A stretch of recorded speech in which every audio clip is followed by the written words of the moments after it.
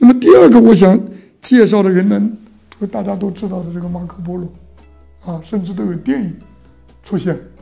我想呢，我是一九二零零零年我到呃到到到德国的时候，罗马大学请我做报告，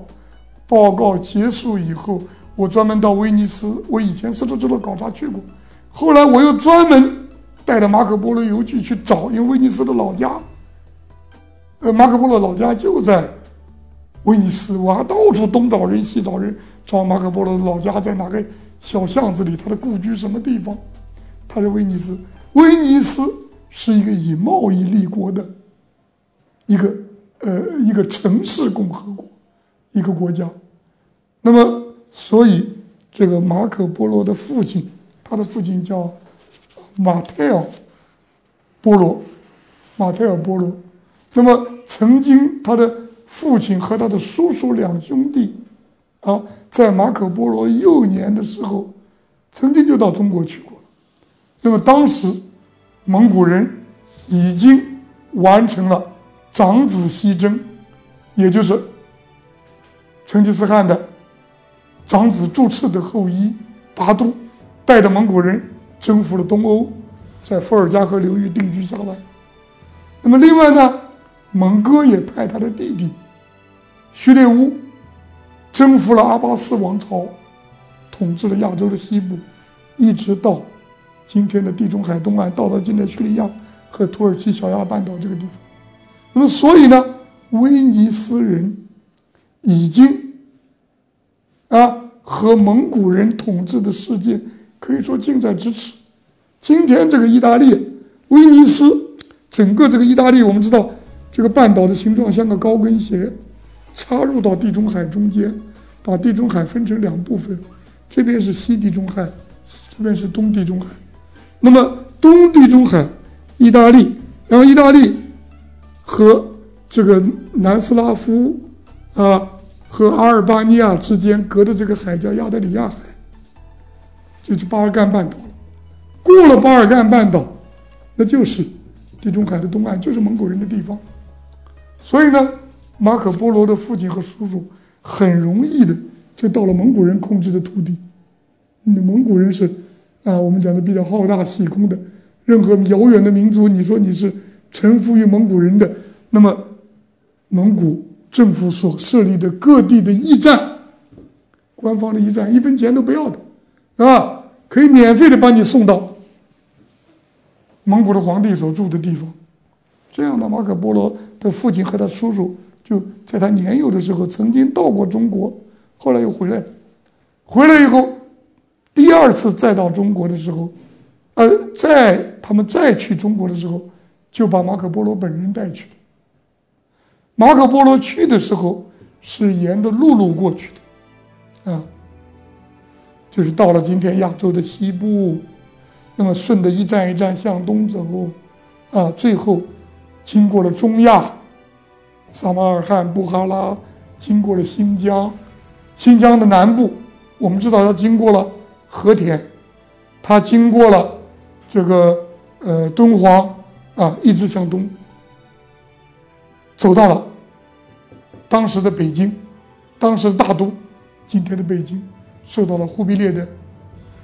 这个接见。马可波罗并不是唯一的到过。中国的意大利人，并不是唯一的。今天，在扬州的博物馆中间，还有一块碑。这个碑呢，是用拉丁文写成的，是一个女子，一个使用拉丁文的一个人的女的一个意大利人，她就死在扬州，在那儿立了一个碑。所以，《马可波罗游记》中间还有一个故事，说他在扬州担任总管的时候啊，他。还和一个啊，来自于他故乡的女子啊，互相呃认识啊，那个互相呃的堕入了情网，当然，这个是故事是不可靠的，是吧？这个马可波罗已经在呃十二世纪的这个后半叶，他已经啊，我回到了这个呃呃回去了。而那个女子是十四世纪的人，两个人不，但这是艺术创作。但这一点说明马可波罗并不是唯一到过中国的这个欧洲人。另外，我们曾经讲过啊，这个泉州也有拉丁文写成的墓碑，这是我们会后面会提到的。那么，马可波罗到达中国以后，我们在前面讲过，他中国待了十几年以后，他自己要求回去了，所以他自己讲，他是因为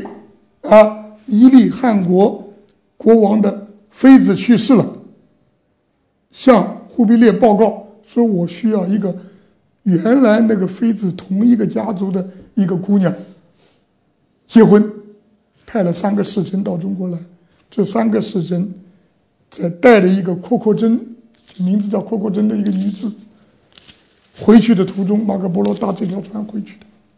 那么我们前面在讲元朝历史的时候，连元朝历史的时候已经提到了这三个使臣的名字。那么在这个《永乐大典》中间是有记载的。啊，这个马可波罗说，他某年某月啊，他在波斯湾登岸，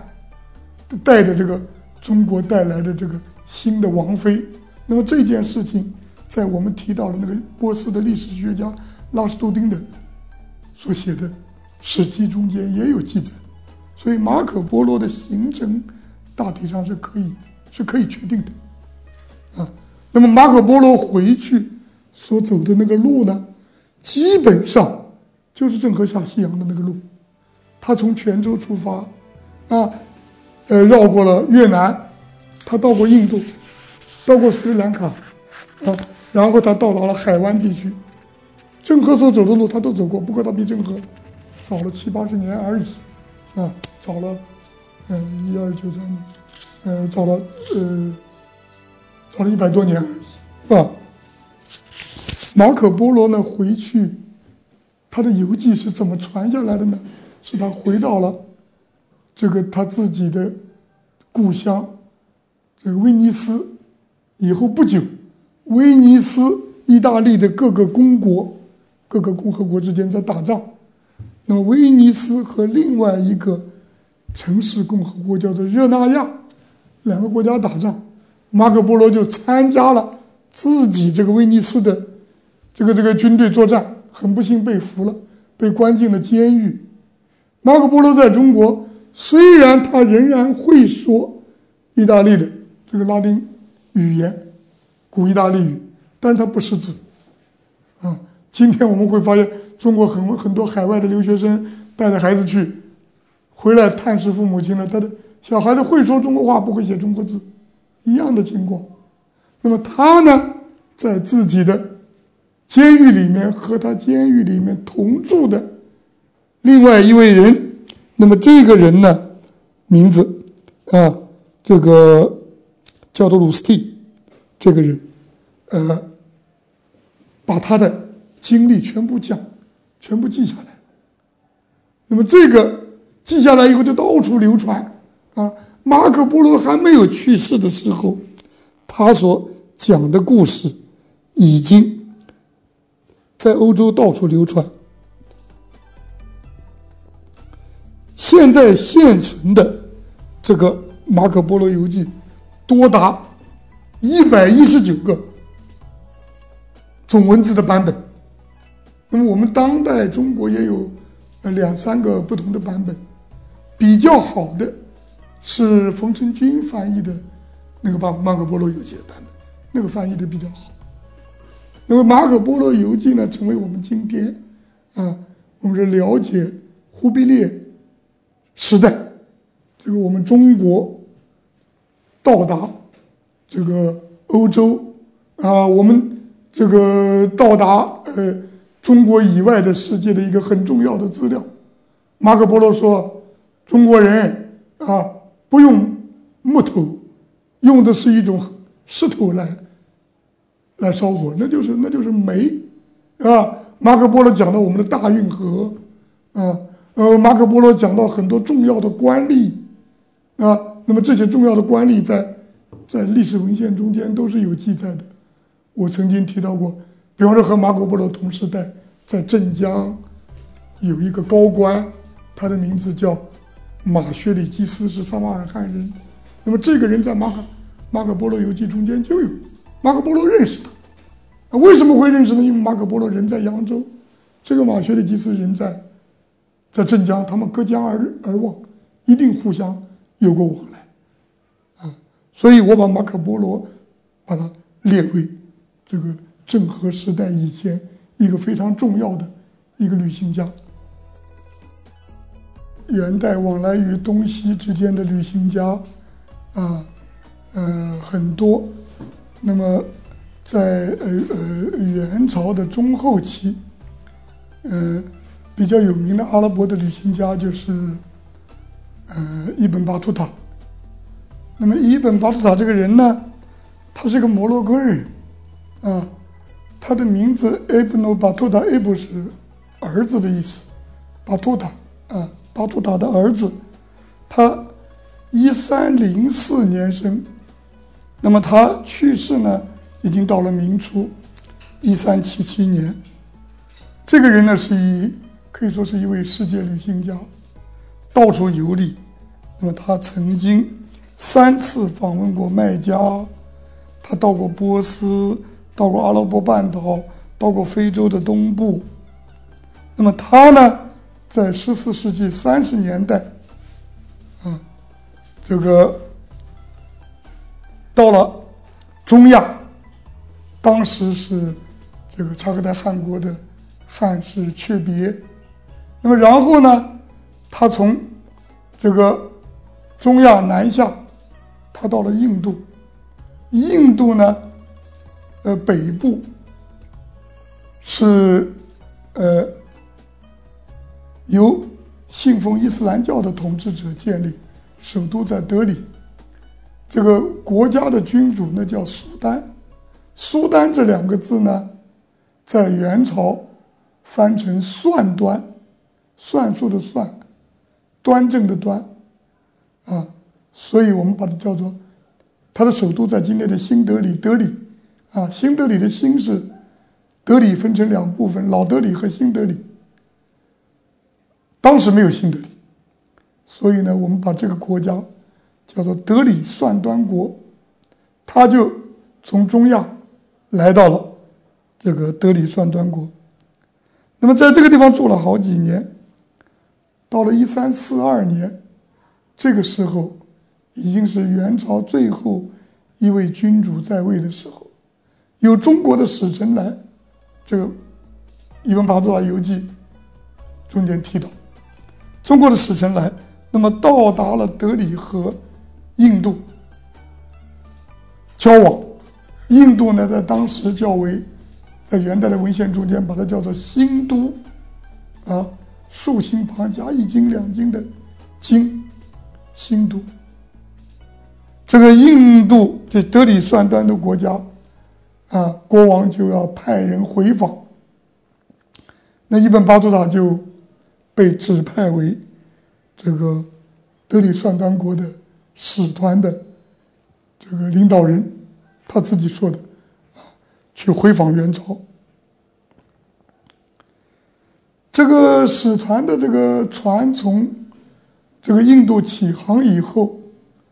啊，就像我们讲的这个发现的情况，有很快碰到了风暴，这个船就沉掉。那么伊本巴图塔呢，他就，呃，他幸免于难，他也没有上了这条船。但是他使团的副使，他所带的给给元朝皇帝的礼物都丢掉了，他也没有办法去回到印度去向皇帝报告这样他自己的经历啊，不好意思，所以他在在在在海外逗留了三年，那么最后呢，他这个跑到了泉州。到了福建，他说在泉州，他受到了当地的泉州社会上的一些啊伊斯兰教徒的这个接见啊，招待了他。他提到了好几个人，那么这几个人呢，我们在泉州今天有个寺寺院叫清净寺。清净寺的碑中间提到了一些宗教人士在泉州的这几个人的名字，在《一本巴图塔游记》中间都提到过，说明他肯定他到过泉州。到过福建以后，他北上，他还到了杭州。当然，他自称说他到了北京。现在所有研究的人都不相信他到了北京。他说他在北京期间，啊，北京发生了这个元朝发生了内乱，如何打仗，这个肯定是不真实的。但是也有学者提出来，就是他实际上是在全在杭州听说了北京的事情。听说什么事情呢？实际上，在元朝末年，在天顺年中间，这个时候元文宗继位以前，那么太定帝死了以后，有的人有一部分回回人，就是以道拉沙丞相为首的，要立太定帝的儿子阿拉基巴为皇帝，在元上都（今天的内蒙古的正蓝旗），而以这个。呃，图图哈的这个孙子，啊，这个燕提木尔为首的这部分人要立元武宗的儿子图帖木儿、元文宗做皇帝。那么元大都和元上都两个政权互相打仗，它实际上反映这是这个事情，但是反映的是不准确的，啊。那么他实际上没有到达，没有到达北京，他到了杭州，在西湖上面。他还坐船，说有人给他啊读什么诗歌，肯定到过中国。那么以后他就又返回去了，返回去在世界各地又游荡了，啊，又又又旅游。那么最后，摩洛哥的这个国王叫他把自己的旅行的经历写下来，而且口述出来，由一个作家笔录下来。那么这部书一直保留到今天，叫做《一本巴图塔游记》。这个游记呢，原来只有法文和英文的本子。最初是一个法国的一个学者叫呃德弗雷麦利，我们翻成汉语叫德弗雷麦利，把它翻成法文本四卷。啊，那么英国学者根据这个法文本，把它翻成了英文。那么当代呢，我们有中国的学者马金鹏。把它翻成了汉文，叫做《一本白图泰游记》。当然，因为马金鹏他他只会阿拉伯语，他对元代的历史是不知道的，所以他这个翻译过程中间有一些名词术语翻译的不怎么好。但是毕竟是我们中国人自己翻译出来的，那这样呢，我们可以知道，这个当时的回回人、伊斯兰世界的人到中国来。我们还提到过。啊，这个回回人啊，要要到要到西天去朝圣，要到朝圣。一个一个好的穆斯林啊，有有有，呃是有要求的啊，他要每年有一个月要把斋，就是从日出到日没，他不能喝水，也不能吃饭，斋月，回回斋月，他一天要做五次礼拜，啊，他要捐一点钱叫天课。来帮助贫穷的穆斯林，那么中间有一项，就是他在条件许可的时候，他要到天方，到麦加去朝圣。这是穆斯林一个虔诚的穆斯林应该做的事情。那么因此呢，很多穆斯林到了中国以后回回人，他们仍然记住了自己这个伊斯兰教的教规的要求。我们知道中国的寺院。啊，都是面向南的，但是你到清真寺去礼拜，你会发现，清真寺那个礼拜堂，大家礼拜，在我们中国，我们都是向西礼拜的。为什么呢？就是大家都朝着天方麦加那个方向。如果你这个清真寺在欧洲，它就向东南方向礼拜；如果你在埃及、阿尔及利亚，它就向正东；啊，如果你在土耳其小亚，它礼拜的方向就向正南。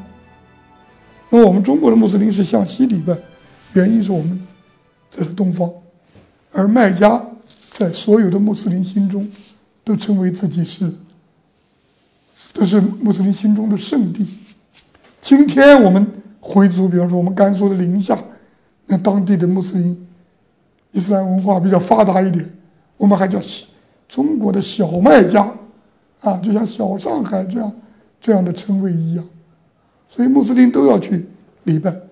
元代的穆斯林怎么礼拜？我们资料很少，肯定有，资料很少。我们现在最明确的资料，就是我提到讲郑和的时候跟各位提到过。郑和立碑在云南，他的家乡立的碑，这个碑中间记郑和记载了自己的父亲，记载了自己的祖父。那么记载自己的父亲，他的父亲叫伯颜，啊，呃，祖父，他伯颜和父亲都有一个称号，叫哈芝。那我们讲，这个只有朝过圣的人才能够叫哈芝，所以我们知道郑和的父亲和他的祖父都曾经朝过圣。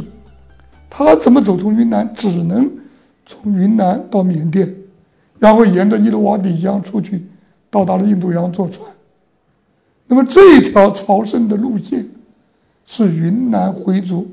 穆斯林一个传统的通道，啊，一直到清代都在用。清朝有一位有名的这个回族的学者叫马复兴，他就是走这条路，他还留下了记载，啊，那么这就是我们讲的这个是元代。入居云南的回回人留下来的，回回人怎么会跑到云南去的呢？因为忽必烈攻下了云南以后，镇守云南的第一任的长官是一个布哈拉人，他的名字叫赛典赤，赛义德阿加里，赛义德贵族，是一个圣医，什么圣医呢？就是穆罕默德的后裔。他是云南行省的丞相，云南设省就是元朝开始的。那么，所以呢，他带了一大批回回人过去。嗯，那么这些人在云南这个地区定居下来，一直到今天，云南的回回人都是非常善于经商，非常擅擅长做手工业，做刀，保持保持了阿拉伯的那些工匠那个经商的传统。一直到今天都是，啊，那么，呃，赛典赤有一个后代叫纳苏拉丁，实际上是纳苏鲁丁，啊，他的后代呢有一支姓纳，有一支姓苏，啊，纳苏鲁的有的姓丁，所以今天在昆明以南石林那个附近，还有一个纳家户，那就是赛典赤的后裔，在那里。啊而郑和就是跟随的赛典赤到云南的回回人，所以他们保留了这个到到圣地朝圣的这个传统。那么我们最后要。